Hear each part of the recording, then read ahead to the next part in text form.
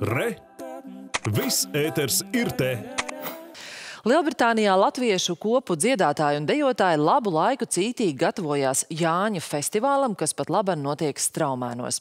No tā neatur arī lielais ceļa gabals, kas jāmēro līdz mēģinājumu vietai un arī degvielas cenas.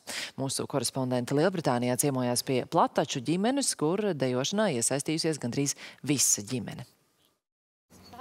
Pirmais dārzā ir gana daudz vietas, lai kaķa mūra uzraudzībā varētu atkārtot tautas dejas. Ģimenē dejo gan mamma, gan abas meitas. 14-gadīgajam brālim vairāk interesē futbols.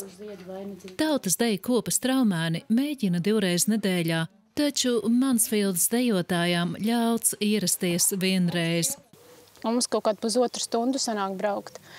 Tad mēs vēl vienu meiteni ņemam no Nottingamas. Un tad mums vēl sanāk 40 minūtes klāt. Tad mums tā nu, garš tas ceļš sanāk. Un nu, tagad degvielas cenas arī tādas ir, kā ir. Tā.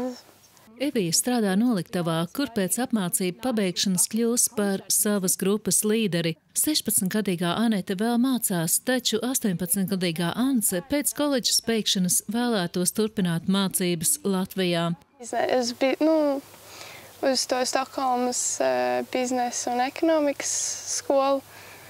Bet uh, šogad tā kā nesanāca, bet es mēģināšu atkal nākamgad. Gribas uz Latviju? Jā. Es jau domāju, ka Ance būs mūsu pirmā bezdalīga, kas aizlidos uz Latviju, jo viņi tik ļoti grib. Jūs gribat braukt uz Latviju, dzīvot abas divas?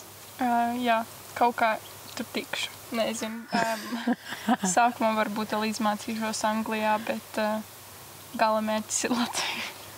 Ģimene tur ir un tuvs ir. Tur mēs dzīvojam un tā ir mūsu vietiņa.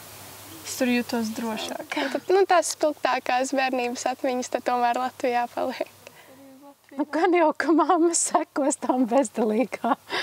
Brālis pabeigs mācīt. Brālim šeit. jāpabeidz, brālim jāpabeidz ir mācības, un tad mēs varētu braukt.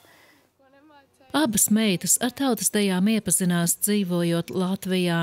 Un Anetē bija tikai kaut kādi trīs gadi, man liekas, Ancē bija pieci gadi, kad mēs vedām uz turienu. Un patika. Man, piemēram, pašai ir tā, kad es dzirdu, ka skan latviešu tautas dejas, kad kājas cilājās, mm. ka tu nevari nevar nosēdēt. Un tad viņas arī sāka tur iet, un viņām arī, man liekas, ka viņām arī sirdī ir iekšā tas. Mm. Kad to nevar, jā. vārdos. Tas ir vienkārši patīk ļoti dejot ļoti patīk. Un, kad uzvelc vēl tautas starp, tad jūties tāds, tāds savādāk pilnīgi.